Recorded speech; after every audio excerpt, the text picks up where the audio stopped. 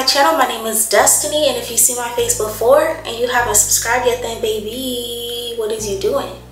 Subscribe. So a little background on my skin. I've never had acne prone skin or anything like that. If anything, I would get like little heat bumps or like my skin would get real dry. My skincare routine has always been very simple. I always considered myself a very low maintenance girly because I don't really like doing too much. But I feel like you know, I'm getting older. I'm turning 25 this month. The Lord has been working on me this year. Seems like this year has just had a whole theme of healing, which is crazy because pretty sure last year I said this year I wanted to focus on bettering myself and the Holy Spirit said that because that seems like what we've been doing all year. I have a mixture skin. So usually my forehead's oily and my eyelids are oily. And then this area like my cheeks and around my mouth can get really really dry. Before before i used to use clean and clear the daytime wash and the nighttime wash and then the regular daily moisturizer. Two years ago i switched to CeraVe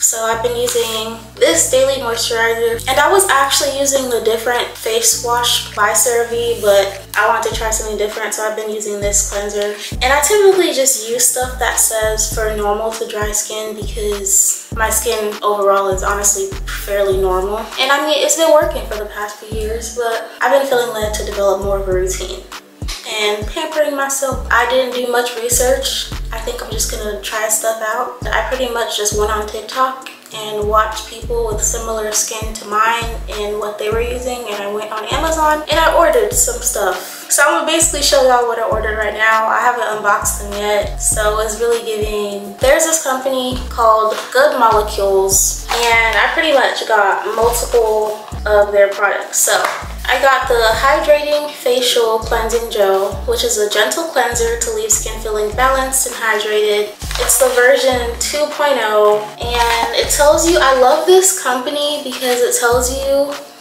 which step to use things and I don't know nothing about skincare so it's helpful to me. Step one, and it has all the ingredients listed here. One thing I am not doing is step two, which is a toner. People were saying it's not really necessary. And if it's not necessary, I'm not gonna do it, which is a hyaluronic acid serum. I definitely pronounced that wrong, so. It says delivers deep hydration to plump the appearance of fine lines.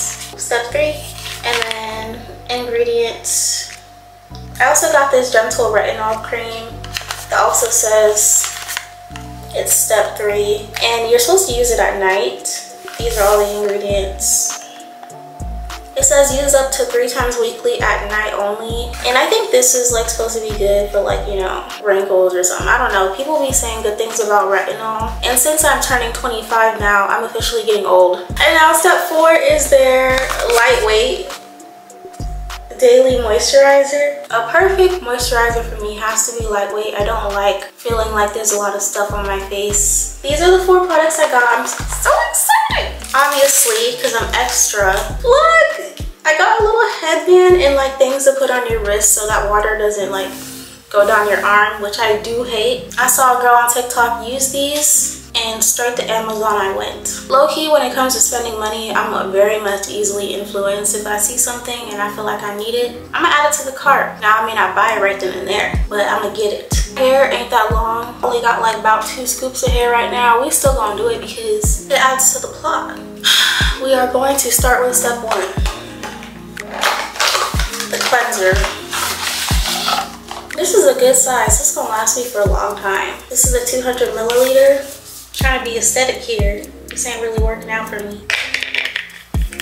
This is unscented, which I really, really like. It's, it's clear.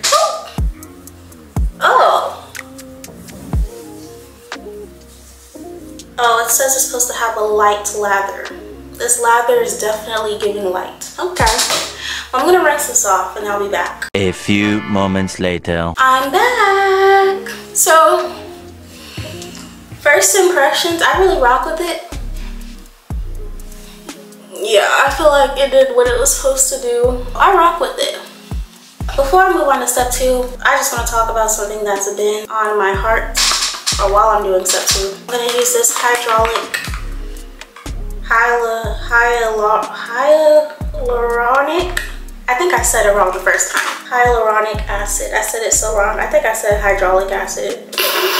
One thing that has been on my heart, um, you know, last week was election week. I don't know what it is. I don't know what shifted. I don't know what happened.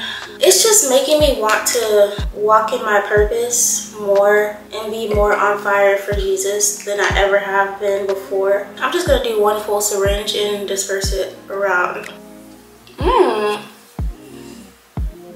This feels very slippery and slimy. I got this book towards the beginning of the year. It's called The Awe of God by John Bevere, but I stopped reading it because I got carried away with life. It basically really just has me thinking because he was just talking about like heaven and basically talking about like um, your heart posture like, behind doing things like for the Lord. He was talking about like worldly judgment like for unbelievers versus like judgment for believers and how we're gonna have to take an account for pretty much everything. It's not more so like, oh, you done XYZ wrong. It's like focusing on how did you use your time? Like after giving your life to the Lord, after knowing the truth, how did you use your time? Did you use your time on doing things for yourself um, worried about yourself, worried about your career. Basically spending your time worrying about building yourself up in the world or did you spend your time on kingdom things, focused on doing things for the Lord? And I will say, I mean, I gave my life to Christ in 2019, and I, have gone through phases. Like when you first give your life to Christ, you're a little more zealous, a little more passionate, and you're just telling everybody,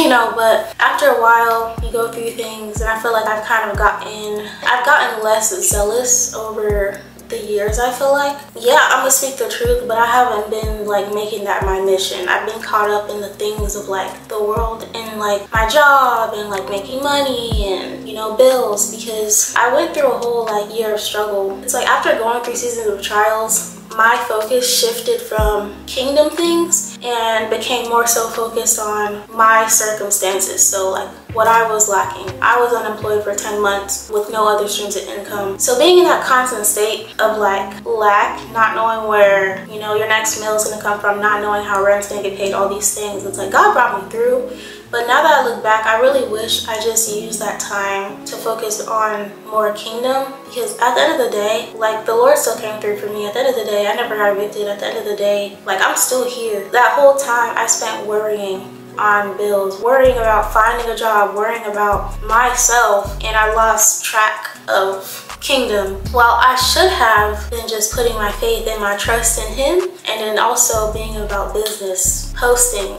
testifying, serving in church, but I was stuck in the house being depressed. I think I'm kind of getting back to that like zealous place of where it's like I'm just about kingdom and I'm about the Lord's business and that's like my main concern. Granted, he has come through for me. You know, like yes, I have a job. Yes, I have other responsibilities, but none of those things are above God or the things of God. That's just, I guess, one little thing I want to talk about because yeah, I was reading that book and I was like, dang, there's been multiple seasons throughout my life where I feel like I've allowed circumstances to just throw my focus off of the things of the Lord. And I'm not saying my circumstances just threw me off the wall completely. Like, no, I was still in relationship with the Lord. I was caring about other things like marriage and relationships and finances and you know like I was diagnosed with rheumatoid arthritis and so that's something that I struggle with every day and so there's a lot of the days where I'm in pain and that becomes my main focus. I have a bad habit of just focusing on my circumstances when no matter the circumstances I should prioritize kingdom. That was my little TED talk. It said we're supposed to let it sit for 30 seconds. It was it was definitely more than 30 seconds. So now we're gonna add the retinol cream. Layering all these products is giving new for me. One thing I'm kind of hesitant about is putting oil on my face. Like I know people be putting oils on their face. Ooh, my skin feels different. And the last step is the lightweight moisturizer pretty good size. This has shea butter, avocado seed oil, hy hyaluronic, hyaluronic acid. We're gonna add a little bit. You guys wanna know something I started doing too? I started mouth taping. TikTok sold me y'all. I've been doing it for about two weeks now and I'm not gonna lie, I can't sleep without my mouth tape. The reason I mouth tape is because I always like to sleep on my side or my stomach, but I always end up on my back and my mouth ends up open. I don't be snoring, but my problem is my mouth be open, like open. When I wake up in the morning, my mouth be so dry. And so that's why I started mouth taping. And I like it because it's breathable, it's easy to put on. It actually fits my lips and I rock with it. It makes me sleep like a baby. And now for my lips, I go between Carmex and this. This just happens to be the one in the bathroom. I like to layer that mug on. Overall, I think this is something I'll be able to maintain. Like, truthfully, I rock with it. Thank you, Holy Spirit. Hopefully, my skin will look better after a week or so of me implementing this. If you guys enjoyed this video, don't forget to like, comment, and subscribe to my channel, baby. And I hope you come back for more. Hey, hope you come back for more. Hey!